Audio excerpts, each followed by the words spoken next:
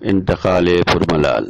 مرد مجاہد، مفکر بے نظیر، سابق صدر ایران، آیت اللہ اکبر ہاشمی سنجانی جو امام خمینی و رہبر انقلاب آغائی خامنائی کے دیرینہ ساتھی تھے، دل کا دورہ پڑنے کی وجہ سے تہران کے ایک اسپتال میں آٹھ جنوری دو ہزار سترہ کو دار پانی سے الوداع کہا۔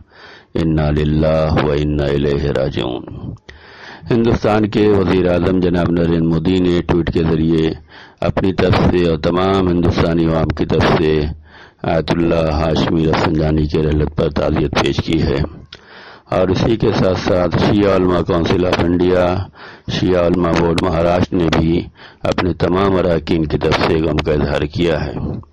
ہم موسا اکیڈمی کی طرف سے بھی تمام افراد خانہ مرحوم اکبر ہاشمی رفسنجانی تمام مراج کرام اور تمام مومن کرام کو تعزیت پیش کرتے ہوئے مرحوم کے لیے آپ تمام حضرات سے سورہ فاتحہ کی التماس کرتے ہیں۔